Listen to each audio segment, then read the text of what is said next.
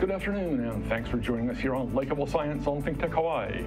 I'm your host, Ethan Allen, and we're all about how science is a likable, a vital, and an interesting and exciting part of everyone's life. Science is not something to be feared or stuck away in a cabinet or stuck up in an ivory tower somewhere. Science is all around us, every day, every way. We use it all, and we should all learn to love it. With me today to help me explore uh, very interesting parts of science are Ian Kitajima and Ken Cheung, both from Oceanit. Thank you very much for joining me. Thank you for, Thanks for having us. So uh, Oceanit is an is a interesting group. It's a, what would you call it? It's a, it's a, tech, a high-tech company, basically.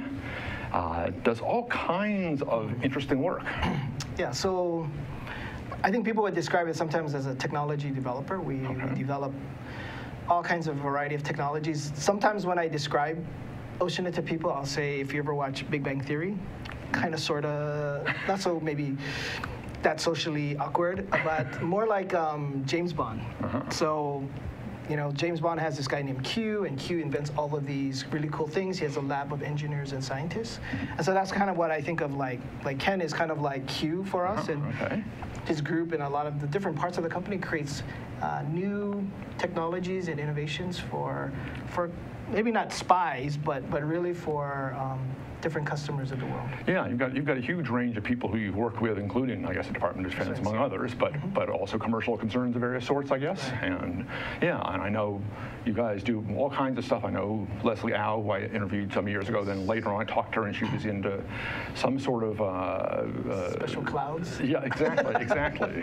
Uh, That could be used for spy work. there we go. Right. Yeah. Possibly, yeah. Yeah, All kinds of exactly. cool. So they do all kinds of stuff, and, and plus, uh, Ian, you're on the Hawaii Workforce Development Council, which really speaks to uh, Oceanit being a very innovative company in the way they organize, the way they work with their staff. Maybe, maybe you could tell us a little bit about that. Sure. So, so you know, you know, Oceanit is, you know, a group of very highly educated, um, very creative, very passionate group of people.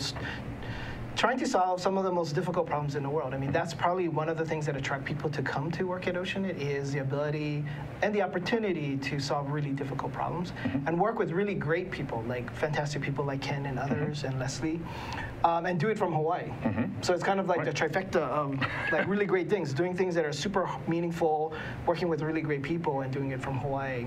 And so um, we do get asked quite often. Um, you know, what kinds of jobs and careers um, are happening at Oceanit. And so if people went to our website and visited our website, you would see the various types of positions we're hiring for today. And then as part of the Workforce Development Council, is providing guidance and, and feedback about what we see for the future.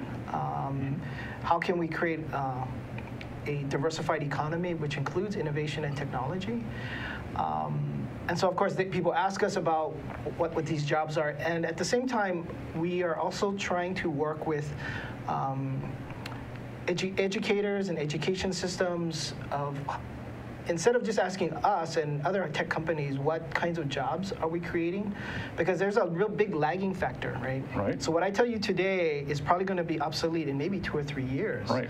so to say create more of this is maybe very dangerous Right. so what we're trying to do is change the conversation where we're asking people to think about and for ourselves what are those amazing what we call superpower skills um, that we can teach and give experiences like what kind of skills and experiences can we give young people so that they can be prepared to most likely create their own careers Right. and um, more attractively, maybe create Hawaii's next great technology innovation company. So instead of looking to Oceanit and waiting for us to do something, really, how do we empower these young people with you know entrepreneurial hmm. skills, design thinking skills, coding skills, hmm. digital media skills, so they actually could create their own companies. Yeah, So that's way more po- empowering, I would I would say. Right, and you guys actually get train your own staff in this like the whole design hmm. thinking process, so they can go out and, and both think better themselves, but also Right. teach their kids and Yeah. Model this for other people. And and this is again, it's a great model for the, the other workforces around Hawaii to realize, yeah, this we, we live in a very different world today. It's not it's not a world where you sit there and put a widget together the same way uh, day in and day out, right? Right. And I'm sure again, you the, the folks who you work with think very differently. They do very different jobs each day, right?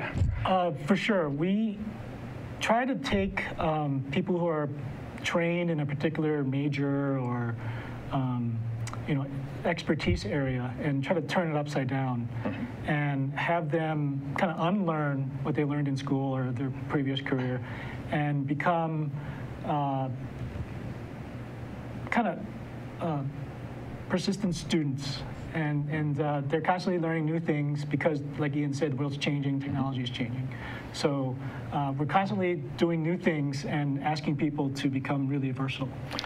Absolutely. Yeah, no, I was going to say that, you know, one of the things definitely that is super important for for us to create in, in, in school and students or just in people is like a love of learning, right? Because you know, today is maybe we're doing this today, but in two years from now, we'll maybe be doing something very different. So if you don't want to learn Right. new things or not curious about things, about how the world is changing or new areas, then it really is a hard, hard thing to stay, You keep could, up you could become obsolete. very Yeah. quickly. And Yeah, so- absolutely. No, and I mean that's that's a really key thing, of course, that a good education should do is teach a kid to love learning, right? Right, and not real- kill it. realize real- realize that they are a, a learner, that this is something they do, they do it well, and they love doing it. Yeah. And then you know you can teach them about rocks or rocket ships. It really doesn't matter because they'll learn what they want to learn and they'll Right. explore. Yeah. Exactly. So, so that's one of the things we look at for people at, Hmm. at Oceanit is, is people who are intensely curious, who Mm-hmm. love to learn new things. So if you hate learning, it's and don't want to learn anything more, then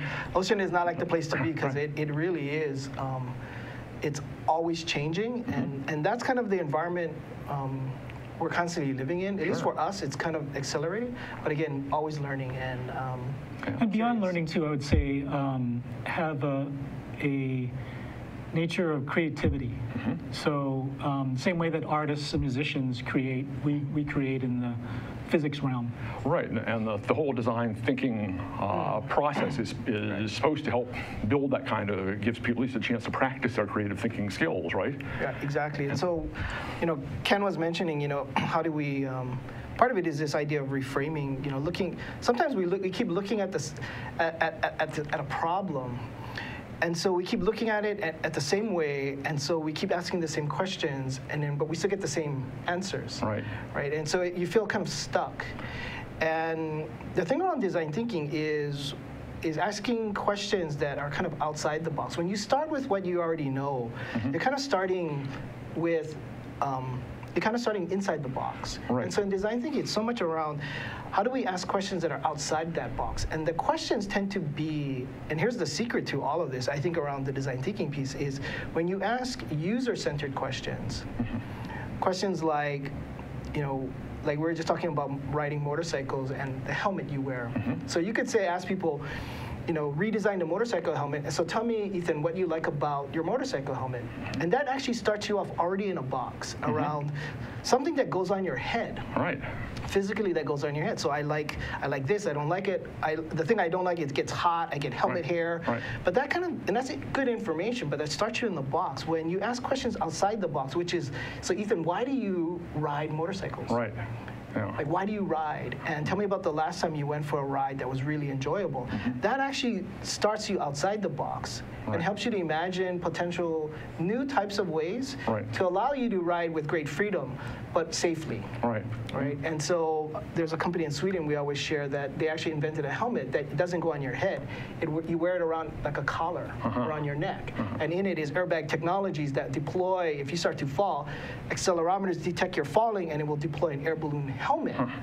But it's a it's a helmet that doesn't go on your head. You wear it around your neck. Right, right. Right? So thinking about things differently is very, it's very good practice for people. Uh, years ago, I was uh, doing a little education workshop for a bunch of art artists.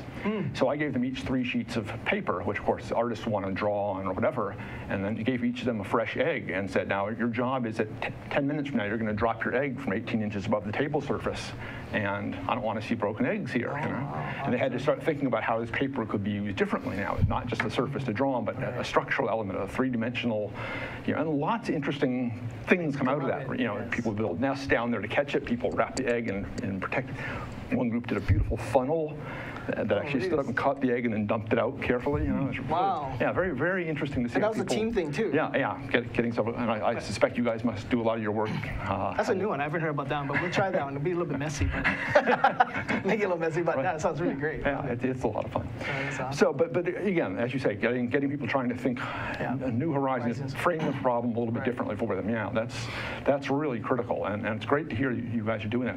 And you, but you do it in these yeah, in these tremendously diverse fields and, and industries. From, uh, I mean, from how to get graffiti off a off a wall, which we have a video of for, for a little later. Uh, to how to how to uh, get condensation not to stick on you know, and, rust away. uh, Right, exactly. Yeah, so there's, I mean, that's kind of the beauty of, I think, where we work is we, we may start here, but where we end up, we, it's a lot of times, many times, it's hard to know where we'll end up. And a lot of it is, again, inspired by being in the field, talking to mm-hmm. customers. You know, th- this is the, the beauty of, I think, the kind of work we do. It is kind of like being an artist. It's, it's maybe like also what a jazz ensemble is too. They uh-huh. start they, they start a they start a tune, and then from there, as people become part of it, they're, they're building on it. Mm-hmm. And different, as people different people come in, they bring different points of views, and they bring different inspiration or different. Um, factors of pulling mm-hmm. this idea or technology into different places. And so I think one of the important things we have at Oceanit is we've created a culture of experimentation where where you can try things and, and it's really collaboration among groups is, is very much encouraged. And so part of it is we just went through a redesign of our office space as well. So space is actually a very important element in mm-hmm. helping to foster, I think, creativity and innovation. So literally physical space can make a really huge difference. And so our kitchen is about five times bigger now. There we go. Good. Right, just Yeah. because that's where that's where a lot of the Sure. creative creative sparks have, are happening. Have yeah, casual exactly. conversations, bounce around ideas, and suddenly Exactly. they're looking at their donut thinking, huh, I wonder if I could. Yeah, exactly. so now we're expecting like five times more innovation happening because the kitchen is so much bigger. Excellent, excellent. Yeah, no, that- definitely. yeah, sounds, sounds very exciting. And yeah, there, there are, of course, there's a huge uh, uh, uh, movement these days about building good learning environments, environments that will encourage learning and learners uh, and, and not keep it all in a, Right. in a box of the traditional classroom design of you know, a teacher's desk and rows of, of neat little chairs sitting there for the kids. And our actually design, our redesign of our office was actually a major design thinking project. Ah. Because if you think about, you have to incorporate all of these different needs. Right. So somebody in HR has very different needs than somebody like who's doing nanotechnology work, Right. or somebody who's doing biology work, or the guys who are doing marketing or the design thinking stuff we- we're doing. So you have a real variety of Right. needs and stakeholders. So it was a great, in a way, design thinking exercise to Yeah. incorporate all of that learning and needs, and then design out um, a facility. Right, how, you build the openness to really encourage the collaboration, but also the privacy and quiet time that people need for some kind, some parts of their work and all. Yeah, that's, I'm sure that must have been. uh, Some of us have stand-up desks now. A bunch of us have stand-up Our desks. programmers like to be in a dark corner. Yeah, They like the dark. Yeah, when I, when I do grant writing, you know, I really want to be in, in my own space, my own quiet room, I, you know, and that's that's what I, what I like. But then, yeah, uh, when you're bouncing around ideas on how to get a project done, often, yeah, you want to be sitting around talking with your, your peers, and even people just wander by, right? Because sometimes some stranger will wander in and have some great idea, know, doesn't know anything about your project. Yeah, yeah, exactly. Yeah, excellent. Well, hey, we're going we're to explore this more deeply. We're going to look at some of the specific applications uh, that Ocean is doing when we come back. But right now, we're going to take a short break. Uh, again, I have Ian Kitajima and Ken Cheung here from Oceanit, and I'm your host, Ethan Allen, and you're going to be back in one minute on. I'm Jay Fidel, and I'm here with Pete Mouginis-Mark to talk about HIGP and research in Manoa. What about that show, Pete? I think it's great, Jay. Research at Manoa really provides faculty members at the University of Hawaii with an easy way of explaining some of the research activities we're conducting on the campus. For example, I do a lot of space research, whether it's the moon and Mars, but many of my other colleagues do other interesting kinds of work, whether it's exploring the ocean floor in submarines, studying earthquakes and tsunamis, or other activities. So research at Manoa really provides us with a way of telling the general public some of the activities which we're involved in, as well as communicating to our colleagues and students that this is a fun science, and we really appreciate the activities which research at Manoa enable us to talk about. I love research at Manoa. Come around, join us. It's Monday, 1 o'clock p.m., every single Monday. Be there or be square. And you're back here on Likable Science here on Think Tech Hawaii. I'm your host, Ethan Allen. With me today in the Think Tech studios are Ken Cheung and Ian Kitajima from Oceanit, and we're talking about the amazing sort of environment that Oceanit is. It's a, an interesting learning space. Uh, Ian's experience with the Hawaii Workforce Development Council and, and what sort of the lessons that design thinking has to, to, uh, to, to teach. And, but I wanted to dig maybe a little deeper now in, into some, uh, some specific and it was sort of a hard choice because you guys do so many different things. but I saw Wheel. I saw some, some video that really intrigued me because it, it tied back to the days when I used to work uh, in a Center for Nanotechnology, Mm-hmm. University of Washington. Uh, you, have, you do some work on hydrophobic and hydrophilic surfaces. I think, uh, uh, did I understand this was originally sort of targeted? Somebody came to you and said, how can we get the water off of our heat, make our water not stick on our heat exchangers or something like that? Actually, before that, Uh-huh. we started doing this work for the U.S. Navy Uh-huh. on uh, some of the surfaces like ship hulls. Okay. So this, if you can repel water, then you're able to um, maybe uh, mitigate some of the biofouling and corrosion that occurs Right. with that's associ- associated with, with water and salt water Mm-hmm. in particular. And then we um, kind of pivoted, pivoted and, and took that technology and looked at other things like pipelines and heat exchangers. Uh-huh. Um, so uh, today I, we're looking at you know a myriad of, of applications for this technology. Sure. Let's uh, let's run the, the quick little video. Uh, the first one is, is on a sort of a, a de-icing and, and how ice behaves on, on these uh, uh, very hydrophobic surfaces, right? So I think on the left, yeah, you get an uncoated surface. And what I thought was intriguing about this video is how you see the drops in the middle one here are higher and rounder. And then when you look at the drops on the anhydride, they're even, they're almost perfectly spherical. uh, You know, just been squashed a little bit. Then these go on, go on into a freezer, and uh, after some time lapse, right, the freezer is opened. So, so the original work around this was um, reducing icing Right. on heat exchangers for aircraft. Okay. So if these heat exchangers start to ice up, it's kind of think of it like your air conditioning system. Right. If it starts to freeze up, Yeah. it won't perform so well. But but yeah, what what you want is yeah, that ice all right off, right? So lately, we've tried this on airplane wings um, for both icing and uh, corrosion uh, applications, and we've also um, looked at uh, power cables. Uh-huh, That when when it Sure. rains and it ices, it can it'll be heavy and, and pull them down. So. No, and, and again, it has it's, it's an interesting example because it has these other implications too. Because right now, de-icing planes they, they spray chemicals all over it, right, and this stuff. And then you've got to either clean it up or Right. uh, drain it away. But whereas a, a permanent de-icing coating would be uh, very clean. Exactly, sense, and also fast. There's, yeah, there's no no time for. Yeah. So, so, so maybe closer to home, since Mm-hmm. we don't necessarily have a lot of icing in Hawaii. um, when we ran these um, anti-icing tests here in here in our labs, one of the things the guys did is what they do is they, they will throw these um, test samples into um, our salt fog chamber. And I was noticing one day, I was looking at the samples, in eight hours in the salt fog chamber in, in with a steel coupon, I mean, it will look like it's been in there for for months. If that's what it feels, I mean, it really just corrodes, So what- accelerated. So the salt fog chamber, like, so imagine there's like a really a um, like a salt mist, okay. and it's just like this chamber, and it's just misting over, and it's just it almost you can't actually see the samples that are in there. It's like a fog in there, but it's a fog of salt, Salt, okay. and it just corrodes things Sure. really quickly. But then when I was looking at the samples that were coated, they look brand new. Uh-huh. Right, and I looked at it and went, oh, these are the anti-icing samples. But I, I then I realized, go, yes, of course, you know, it's preventing from moisture and water from getting into onto the metal. Right. So this would maybe be a really great anti-corrosion coating, Yeah. which we have lots of probably issues here in Hawaii. Sure, right. No, things, things corrode so fast here. And so we work um, with our friends at uh, Kyo-ya, at the Sheraton Waikiki, and some of these hotels, including the Moana Surfrider. And anything that's near the ocean will just Sure. corrode and rust away in a matter of months. And so at the Moana Surfrider, they have beautiful um, light fixtures. They look like big bird cages. All right. Um, but they start to corrode very quickly. Even after being refurbished, um, they will start to corrode within three to four months and start to turn brown. Turn brown. And so we actually just completed last year, um, early last year, um, coating about 12 or 13 of their light fixtures.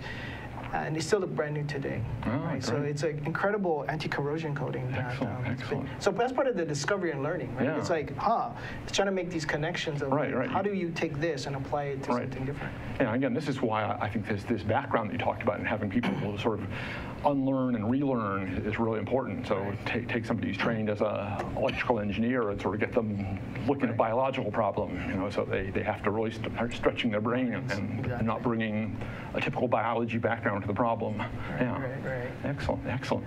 Very cool. So there was some more on this, uh, another video on the hydrophilic, hydrophobic stuff here, right, too, that was uh, uh, looking more uh, at how liquid water behaves, which is actually not, not dissimilar. I, I love when these drops hit and you can just see they, st- they stay as virtual perfect spheres as they roll down. Right. Yeah. and then the, the super hydrophilic thing, it just spreads the water out evenly. and it just kind of creates this Right. bubble. Yeah. And again, both of those are, are, are interestingly different ways of dealing with how do you stop droplets from forming on glass. And, and sort of two different strategies, right? The one you have it roll off, the other you spread it out into thin, even film. You know? Right. But perfectly valid, and maybe different uses for different ones. You know? So actually, out of this work, from the hydrophilic side, um, I work around cementing and creating cement fillet coatings. Uh, one of the things that is can be an issue is when you when two different materials come together a lot of times they don't like each other Right, so this, this. yeah so this yeah so in the case of like a steel casing or steel pipe cement when you cement put cement around it it- those two surfaces don't really like each other Right.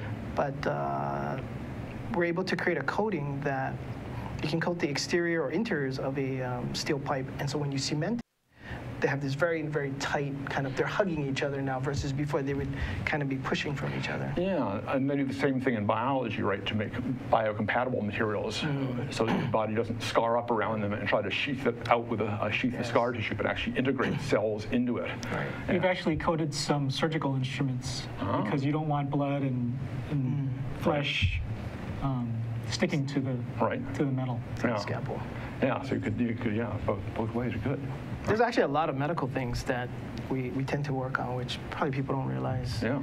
A lot of medical applications, including um, some new materials. Um, so when a soldier gets, you know, unfortunately, if you get shot, um, many times you'll bleed out. So the military has created some really great um, bandages that will basically stop the bleeding. And so we're kind of creating the next generation of those kinds of materials to instantly stop the bleeding. Wow. So, but the commercial market's become, yeah, so bandages that you have today, especially for people who are com- have compromised immune systems mm-hmm. or somebody who has diabetes, don't have great circulation, or some autoimmune disease, you know, if you get a cut, it may take a very long time for blood to, because there's a very little circulation, Right.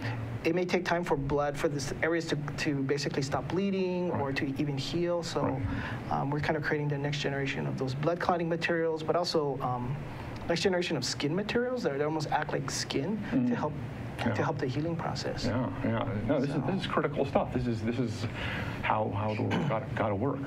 So uh, th- those are just a few of the the, the areas. It Right. seem, seems like, uh, and, I, and I understand uh, your CEO has interest in all sorts of other.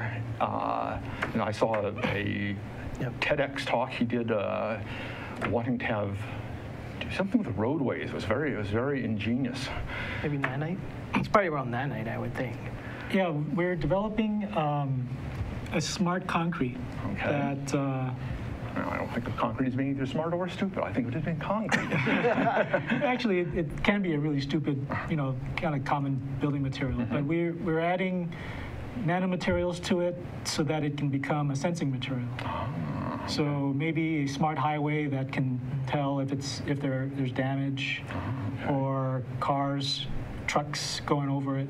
It can be it can be used to weigh vehicles. Uh-huh, okay, right. It it sh- show the stresses and strains so you could see if a, if a bridge is in need of repair or something before it gets Or maybe too somebody stepping into, you know, we have big problems with people stepping into sidewalks when they shouldn't be, especially elderly people.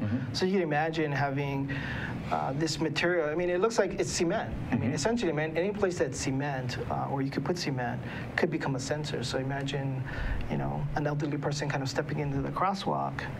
Um, but it's that, that place they're stepping is actually made out of this material. And basically, you know, maybe lights start flashing, Right. signals start flashing to let people know that, you know, you have a person stepping into the sidewalk. And so the drivers kind of wake up. Instead of just see green, Right. the lights are flashing to kind of wake them up that there's somebody walking into Right. the sidewalk. No, that could be very useful right now. I've, I've seen on some of our streets this, that kind of thing happening now. People just wander out and. Huh. No, that's, a, that, that's a, again, uh, see all these every, nice, practical, everyday applications of science. This is really wonderful. This is this is what, what we've got to do is, Right. is, is, you know, and you never know, right? You never know where where your product is going to go, right? You, Right. You, you get this great idea, you develop some new phenomena, some new technology that allows you to do something, and then yeah, then you just begin to, to go in this discovery process, right? Right, exactly. So like even the anhydrous things, we're starting to coat uh, wings for UAV aircraft for- Okay. for, testing because a lot of UAVs will have icing issues and things. So we're doing that, and then Some of our, our smart guys and gals um, are going beyond just water and looking at how you can repel oil and mixed substances. So, and one of the things we're looking at is maybe can you treat glass, the glass on your on your iPhone, so that it doesn't smudge with, with the grease on your, your fingers. That'd be great if it would, yeah. if it would Repel- re- repel that- if it- if that oil. Would repel, yeah, repel the oils. Right, exactly. Yeah, that'd be, Exactly. yeah, that could, that could be an amazing, uh, I mean, all the, you have a huge market for it. Yes. Every- Everyone's got these things and everyone has to clean them off constantly, right? Exactly, Uh, exactly. Yeah. And actually, that the the family of those coatings as well. Um, I think you have a clip as well around um, some. Uh, we've been testing these. Um, some of these, and they're kind of an omniphobic coating. So you've seen super hydrophobic coatings and, and super hydrophilic coatings, but those things, but actually we're creating coatings that will repel both water Right. and oil, and so So this, this is a nice little demo here being shown. Is a, a coating on for stone or cement or whatever uh, that that basically uh, makes your makes it impossible to permanently graffiti it, right? Yeah. Uh, so you can you can uh, you'll be able to, to as, as they'll show you'll be able to scrub the, the treated side off very relatively easily. I think we get a brush out and Yeah. try and scrub that off. Right, you know, you know how hard paint is to get out of off of either rock finish or a cement Right. finish, right? Because it's gotten into a porous surface. It's very, very difficult to. Exactly. But uh, And so, you know, there's been studies that, you know, the sooner you can get rid of the graffiti, um, the more you help to prevent future instances. Because now, they, you know, they know that as soon as it goes up, it's going to come down. yeah, excellent. Hey, well, this this conversation could go on for hours, very clearly, but unfortunately we're out of time, so it can't go on for hours. Uh, and so I'm going to have to wrap it up here. Uh, Ian Kitajima, uh, Ken Cheung, both from Oceanit, and I'm your host Ethan Allen here on Think Tech Hawaii. Please join us again next week.